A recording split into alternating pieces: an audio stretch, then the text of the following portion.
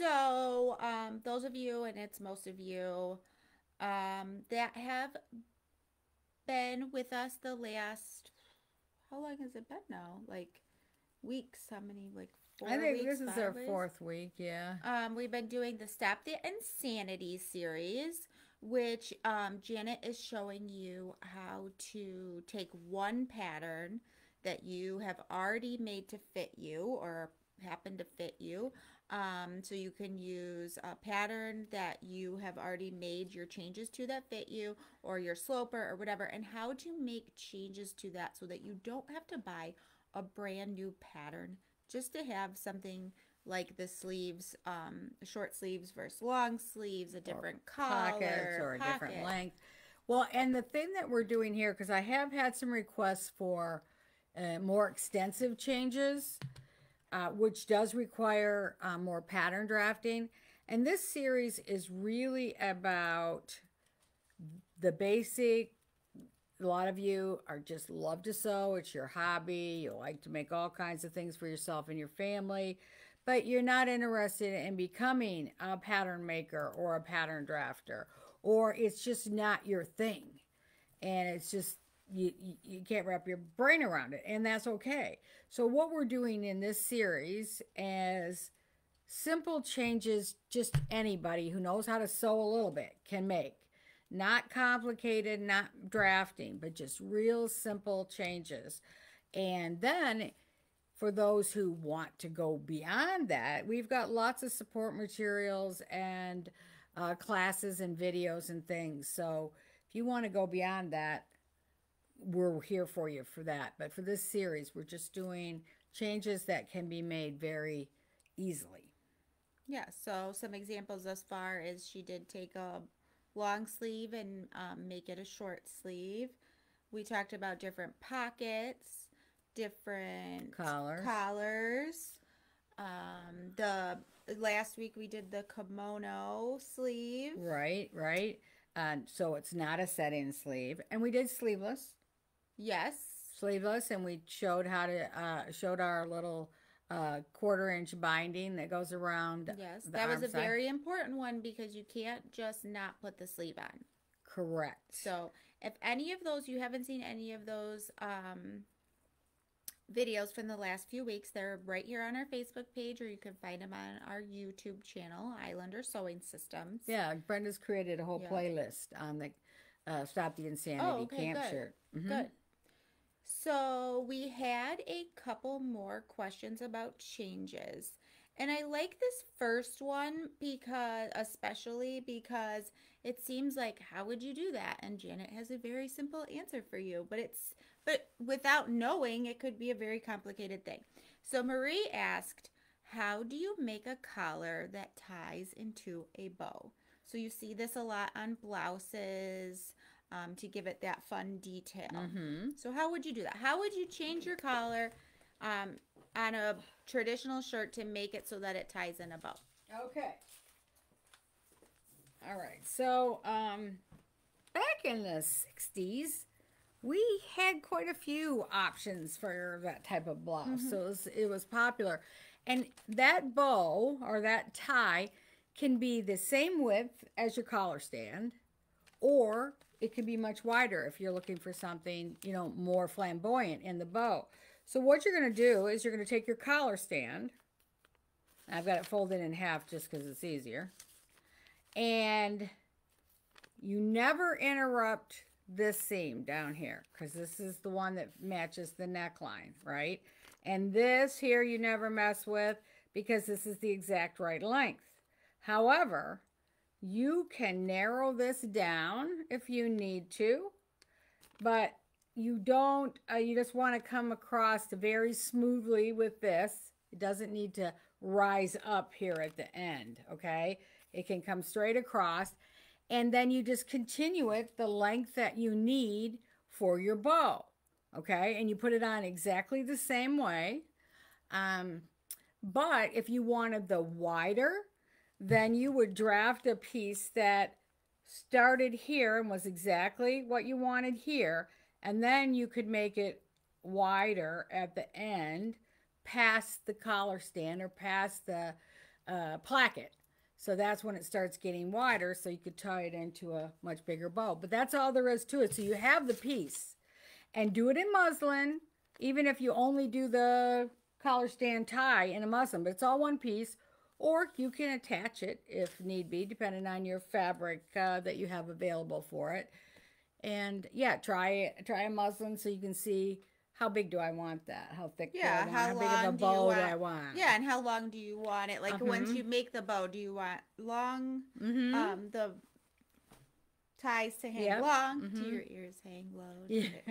Or do you want it to be Mhm. short? Do you want it to be more like a bow tie-ish type Right. looking bow? And consider the ends of your tie too for this. You can do it square or you can do it at a 45 degree angle. And if it's a big bow and it's floppy right here, having those pointed, it just gives it a little more pizzazz. So consider that as well. But definitely have fun, play with that, and do it in muslin first. All right. So that's That was. Marie, right? That was Marie. We have two from Marie. Yeah, thank you, Marie. They were both good questions, as I recall. What was the second one? The second one is how do you ch- turn the everybody shirt into a shirt dress? So, if you're not familiar, everybody's shirt is a women's blouse. Over there, there'll be one under everybody's shirt in that file. So this is the sh- one of the shirt patterns we've been using to base our um, camp shirts on. Okay, but what you can see right here in the view on this side. The black one. yeah, that one is already a tunic length. So if you wanted to make it even longer, of course you can use the short and lengthen lines to get it to the length you want. But the other thing you've got to consider is walking ease. So one thing is don't put the buttons all the way to the bottom. Leave a little room there and then possibly leave either a shirt tail hem so that it comes up on the side again to give you some walking ease or you could leave slits like a six mm-hmm. or eight inch slit in the bottom but again and i don't even know that you need to make a muslin for that because what i would do is i would sew it up and i'd leave a slit and then i try it on and see how if it's too deep or too short or, and just- yeah, yeah. just adjust it at that point while, uh, while you're doing your final fitting So, pretty Yeah. easy. Use those short and lengthen Mhm. lines. Um, just keep in mind you're going to want to walk in it. Correct correct Not like the models on the red carpet walk, like actually walk. But some of the things they put them in, you can Yeah. barely move. Yeah. So yeah, no, we don't want that. Yeah. So great questions. Easy, easy changes to make something very different. right, right. No one would uh, imagine you could have a whole wardrobe of dresses, shirts, and blouses, and All from the same pattern. all from the same pattern, and no one would ever imagine that just by making those detail changes: collars, cuffs, pockets, length. Sweet. Okay, and then Bev had a question. She asked how to narrow shoulders. That's what it says. How do you narrow the shoulders? Okay, so Bev, um, we have the woven uh, bodice fitting series, and it's in the playlist on our YouTube channel. But you're going to do that by making a muslin. And I got a muslin back here. That's what I'm doing. I'm going to pull it out here.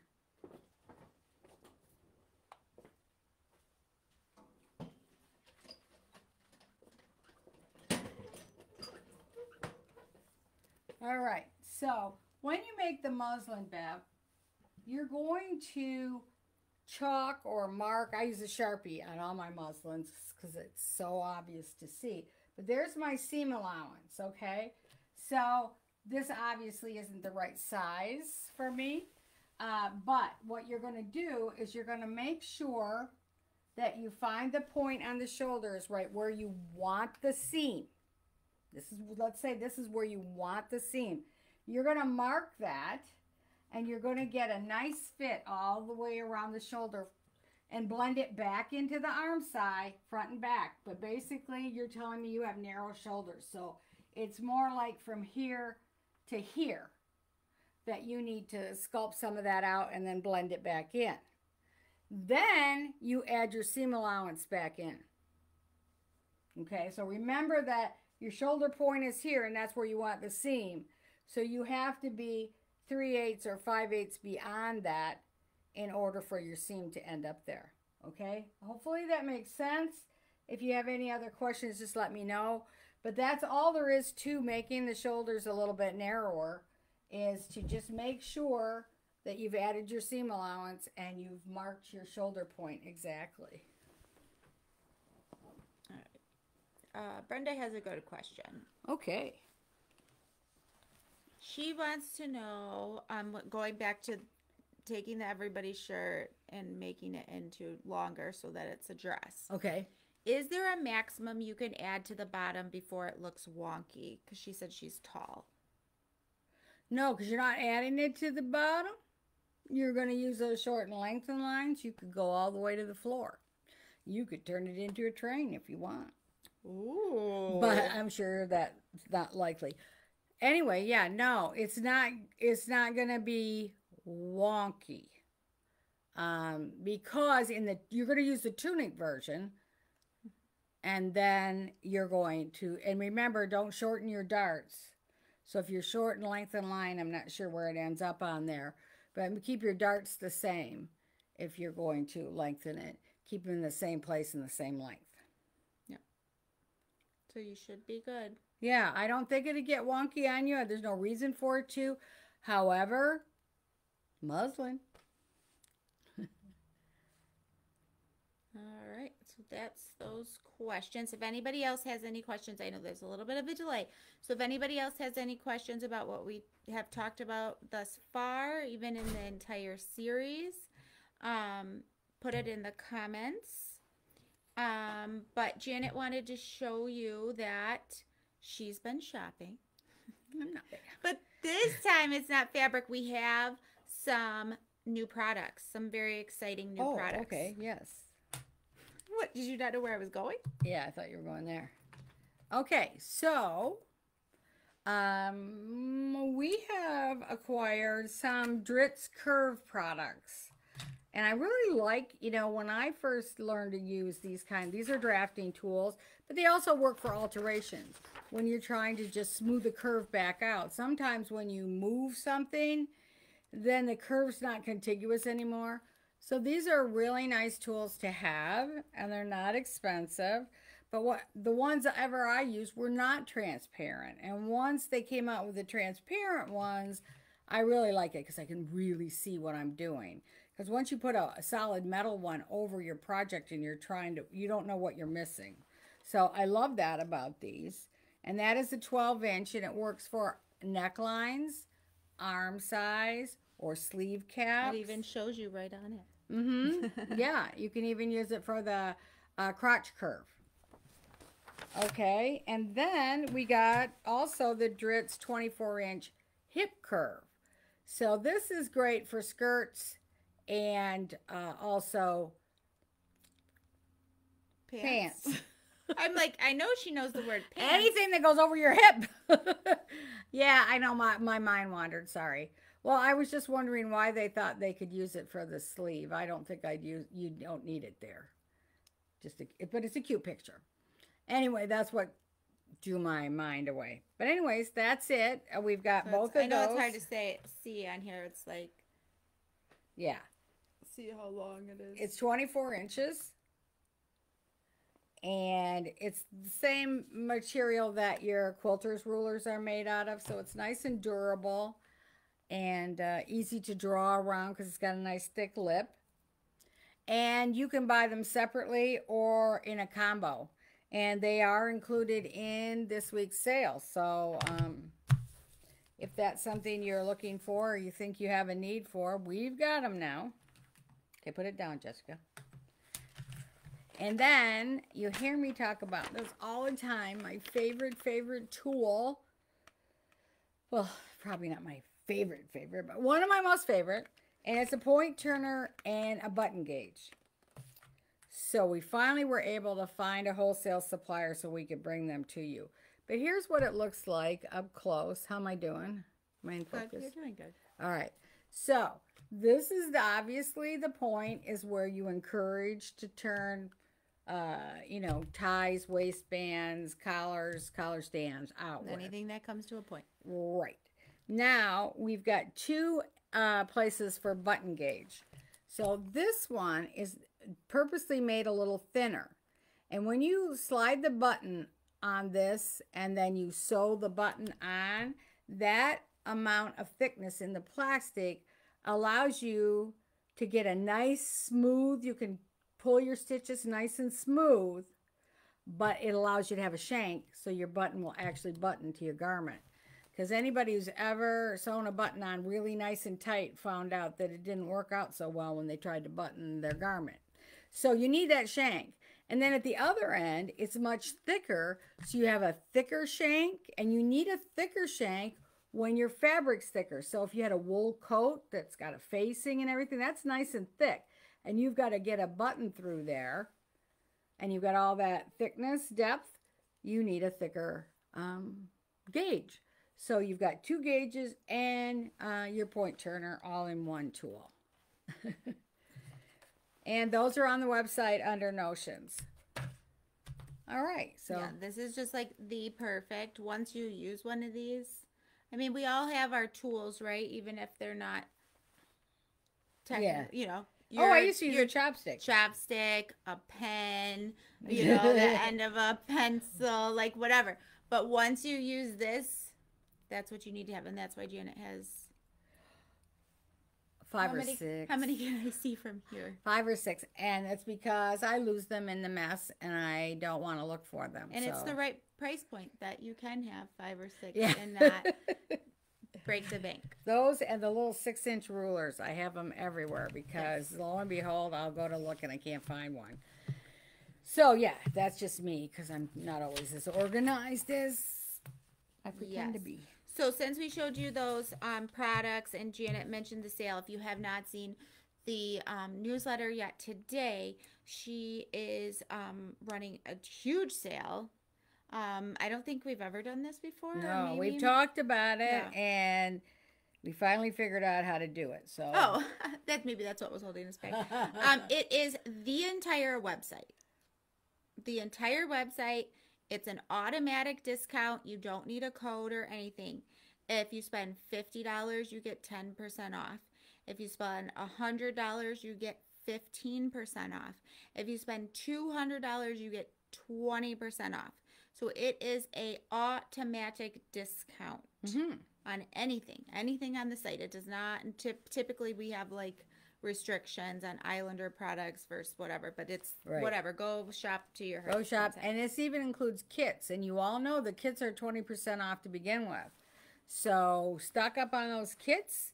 Uh, get ready and do some Islander shirts for um, resort wear for the summer or camp shirt kits. Camp shirts. Or t-shirts. We've got, or if you haven't done your fitting yet, we've got the woven bodice fitting kits and we have the knit fit fitting kits.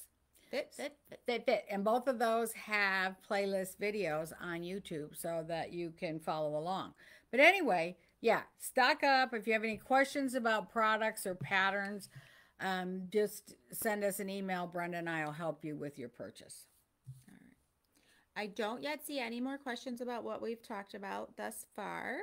Um, but I know that there have been, um, we talked quite a bit about the making the long sleeve the short sleeve and, or the no sleeve. Mm-hmm. and why you can't just not put the sleeve on. And why you can't just chop the long sleeve the long sleeve to make it a short sleeve. And janet has come up with some um, things yeah. to show you. Okay so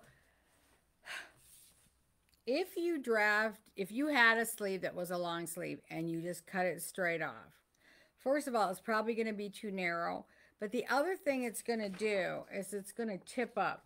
So I want you to take a look at the sleeves on this shirt and notice how it tips up. That's because that sleeve was not drafted properly. And the reason is, is because the sleeve cap to here isn't long enough. Do you see that?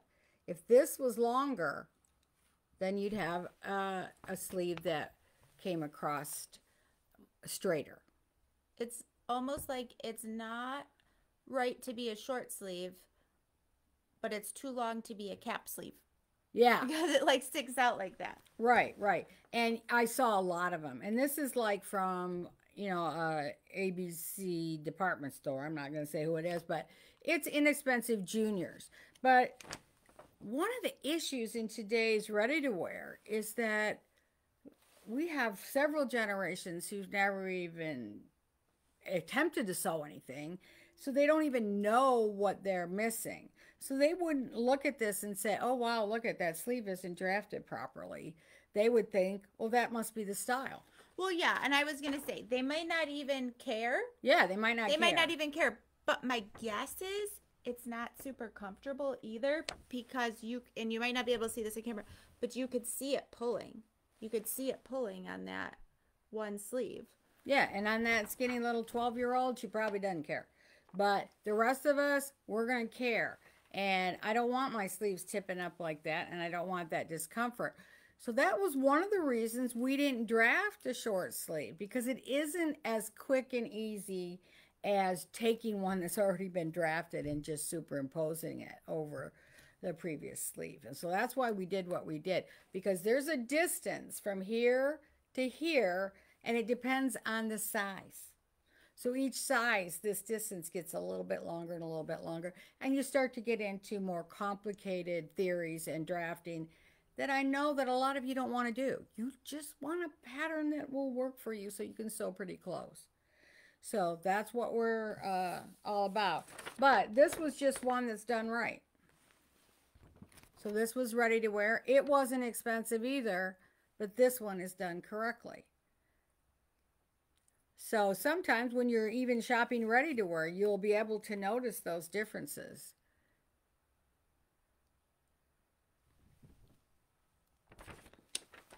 All right.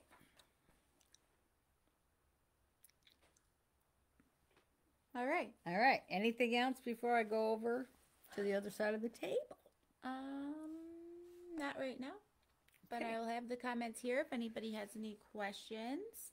Um, Janet is going to review that kimono sleeve that she was showing you last week. Yeah, um, I've started the shirt, but I couldn't get it finished for you, so I'll have it for you next week. But the style is, Oh, let me move the yeah, the sleeve is part of the shirt. It's not set in. So you can kind of see, this is as long as the sleeve will be, but it's going to have a little cuff right here. And then I'll put the basic collar on it. And this is out of that Cupro, that new fabric we got. Oh, I love it. It is so soft and suedey, and it just has this incredible drape. Now, um, and I thought it did pretty well for sewing. I only used one pin, and that was just because the pocket was going all crazy. So I put one pin up here in the corner when I put my pocket on. So it's not difficult to work with. And I did not extend my yoke. I had told you last week I was going to extend my yoke, and I decided I didn't want to go to the trouble. So I put the same yoke in that I usually uh, put in all the other camp shirts. So now I just want to go over quickly the pattern and if anybody has any questions. Um, Brenda did before we, in case I don't, so I don't lose it. Brenda did ask a question about the collar. Um, when you're changing that, can you just leave the collar off, or do you have to change something? So if you just want a basic collar stand collar, you just leave the collar off. That's exactly right. Was that Brenda? Yes. Yeah, that's correct, Brenda. However, you may want to make some changes to that collar stand. And again, that's what I did um, with this new pattern, with the changes in this pattern. So um, I had the collar stand here. Oh, it's over there, Jess. It's right underneath the ruler. Okay, so this was the original collar stand, the one that I have on the shirt, the version that I'm wearing. And so this is the regular collar stand. But it's too high for me. I felt it was way too high. And I don't have much of a neck, so I wanted it shorter. So I made this one shorter. But again, we're not going to mess with the length and we're not going to mess with the lower seam allowance because that goes on the neckline. But we can make it as short as we want within reason. I'd say this is about as short as you can make it because, yeah, it's an inch and a half. I wouldn't go any narrower than an inch and a half because you've got to get that thing turned up under there. You know how we do when we put it, when the final stitching of the collar stand, and it gets a little tight in there if you get it any narrower than this. When you make a, a collar or you're going to change a collar or a collar stand, uh, most pieces, you're going to fold them in half and make it in the half and then cut it out. That way you know both ends are symmetrical. The whole thing from center to the right is the same as center to the left. So you always want to do that. You'll see everything. Now, I don't always cut them on the fold. There's lots of reasons not to cut some pieces on the fold, but definitely make your pattern while it's folded.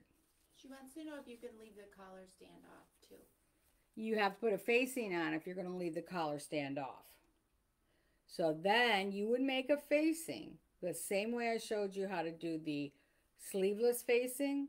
So you're just going to trace around the neckline the width that you want your facing to be plus the quarter inch turn under.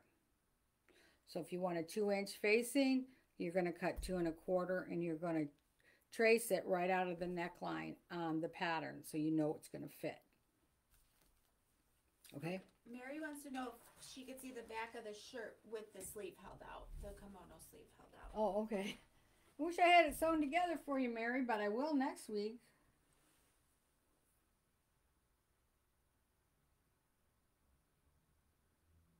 Yep. And then we'll show you again next week so you can see how it. And I'm going to put it a cuff on here too, just for a little pizzazz.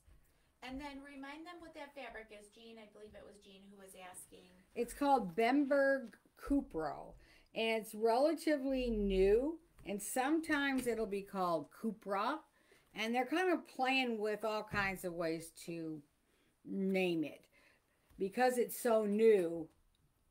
Just look for it in a lot of different ways. But what it basically is, it's not all natural fabric. It is recycled fabric. So it could be some recycled polyester with some recycled cotton with some recycled rayon and all blended together. It but it ha- and then it's chemically treated and you get this wonderful suede fluid look and it's also called a crosshatch so you can see the weave in it too which also adds a little lux to the and look. it's on the website in three colors. Three colors. Mm-hmm. Yes, we bought it in the sky blue, white, and black. Okay. All right, so then let's talk about the collar. I felt like the collar was a little bit bigger than I wanted it to. And a lot of collars are smaller now in their depth from here to here. And they also don't point down as much. So I use this uh, same pattern, but you see how I changed. Well, let me get it here. Let's lay it down here. Jess. You can see I, I narrowed it a little bit, but you can see how different the shape of the tip is. And you know how I did that? I laid it on top, I laid my pattern piece on top of a collar that I liked the shape of, and I just drew the line so I knew what angle.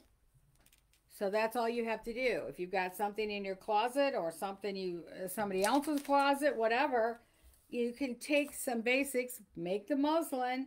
You might be off a degree or two, or you might be right spot on. Just always remember to add the seam allowance. And I say that a hundred times because that's the the most common mistake. All right. She wants to know if this can be washed. The Cupro. I wash. It does shrink a little bit. Uh, it's been washed uh, completely. hmm Yep, it washes up really nice. It's uh, a really durable fabric, as far as I can tell. But uh, again, it's a relatively new concept. And it's just a new concept in the fact that it's a recycling blending concept as opposed to being a straight one fiber. Okay. So I think I told you that I had some inex- two inexpensive shirts I bought, and this is basically the concept that I was going for. So those shirts had a pocket on them. So, and it was just a plain rectangle pocket, but I wanted to emulate the same size. So I measured on the shirt the depth and the width. Actually, I did it right here for you. Well, I did it for me, but I know that I want it five and a quarter finished and four and five eighths inch wide. And so then I have to add a hem and I have to add a quarter inch on these three sides. So once I've done my math, I double check my math and then I draw out my pattern piece and I've actually drawn out where it goes on the shirt as well. How did I decide where it was going to go on the shirt? I measured the distance over on the ready to wear and the distance down on the ready to wear. Then I knew where this first corner should be. And it was just that simple.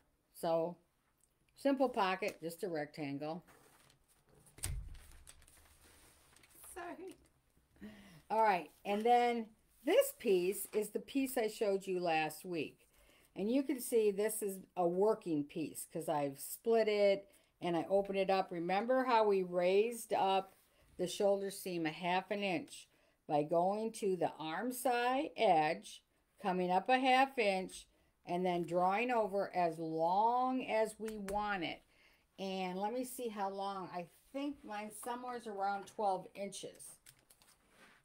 And that doesn't mean yours will be. Mine's a, almost 12 and an eighth or something. So I'm five foot one. I'm not a tall person. If you're five foot nine, you may want to start out, maybe go 14. It doesn't matter because you can always take it off. But for your muslin, for your first pattern, give yourself room. We can always take off from the outside. We want the neckline and the shoulder slopes to be correct. Um, and they should be because we've made this pattern from a pattern we knew would fit. So there's my back, my front. Here's my back the lower half of the back. And remember, I have a rounded back, so mine has this little funny uh, curve in it, but it works really well. So the original yoke in all the other shirts looks like this. But this one has to be longer, so I added to it. And, of course, this does fit once this curve is handled. So I lengthened it then I double checked to make sure it would fit here. And then I double checked here. This is what you call truing the pattern and making sure that this seam was the same angle and the same length. That's what you have to do before you put them all together. Because sometimes we make changes and we might be off a quarter of an inch. Or we may have messed up on our math. This is the time to fix it before you do it in fabric. So there's my yoke. And of course I showed you my collar and my collar stand, which I cut down. And you'll see that uh, completed next week. So I think that's it. And you can see we started, remember last week I showed you when we went to do this curve on the side seam. Oh, I do have one more thing. But anyway, when you go to do this curve on the side seam, start about two inches above the waist. And that's an arbitrary place again. And that comes out of the drafting book. And of course, the drafting books are all based, unless they say otherwise, on an approximate five foot six figure.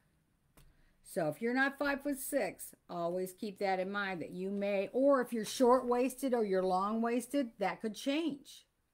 So this is arbitrary just to get yourself started. Now, one more thing you need to do to true the pattern, and I had to do this too, is somehow I was off a little bit because this whole side seam changed, right? So I had to come over and make sure, and I had to make some changes to get this to match here.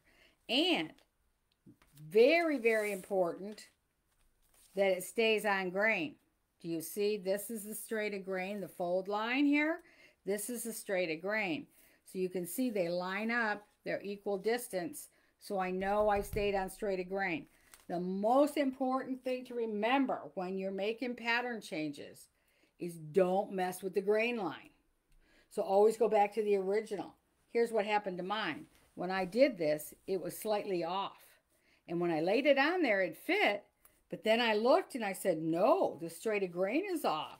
So I had to move it back and make my changes here in order to make sure I stayed on track here. So any place you're making a change, that's the place you want to double check uh, in paper before you cut it in cloth. And so you had an issue there with the side seam. Ruth wants to know if you had any issues with the extended yoke. No. The only issue I had is I had to come in here and make a change. And that was to change this slope and make it longer. Obviously, I had to make this longer. But then I had to confirm that it had the same length and shape here. And again, making sure that everything's going to stay, see again, straight of grain, straight of grain. Everything you can see is equal distance here, equal distance down here. We know we've got it, and it's going to hang right. If this grain's off and this one's off, the whole thing's going to hang so goofy that it, it's just going to look weird on your body even. So straight of grain, straight of grain. Very important. And for those who want have the book and want to do the kimono sleeve uh, draft or alteration, it's on page 260, I think, if I remember right. Yes. So you're going to find that on page 260. It's going to show you how to open up your darts.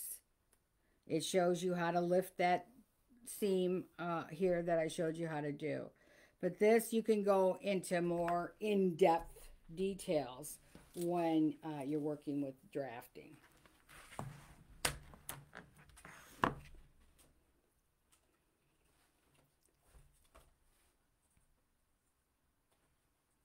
Are we done? Are you? Well, I am done with this. Uh, if anyone has any other questions about any of the camp shirt conversions, sleeveless, collar, no collar, collar stand, whatever, I'm happy to answer your questions. Boy, it's getting really warm here in Michigan. I think we're going to have to open the windows in a few minutes. Don't forget about the sale. Right. And so if you spend between 50 and $99, you're going to get 10% off. No. Yep. Oh, you yeah. spend 100 to 199, you're going to get 15% off and you spend anything over 200, you'll get 20% off. And again, that includes kits, and we all know the kits have already been marked down 20%. So it's a real bargain on those. But all all the new products, everything is included. So go shopping and have fun.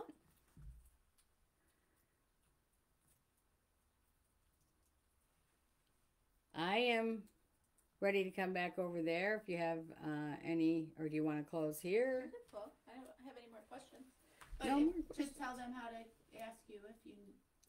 Okay, yeah. And if you have any questions along the way, just email me at islandersewing at comcast.net.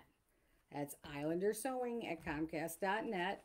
And that email goes to both Brenda and I. So if it's about your order, uh, Brenda may answer you. If it's about uh, the process or um, pattern making or whatever, then you're likely to get an answer from me. But um, we're happy to help you any way we can. All right.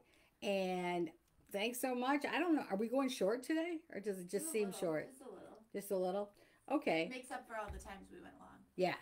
And Cassie can get back to work earlier. anyway, uh, we appreciate you. We're so glad you're here every Tuesday with us. And um, we're here at Islander Sewing Systems. That's islandersewing.com for anything that we can do to help you with your sewing uh, enjoyment. I'm Janet Pray, and I'm here with Jessica Johnson, and we'll be back next Tuesday at 2 p.m. Eastern Time. Happy sewing!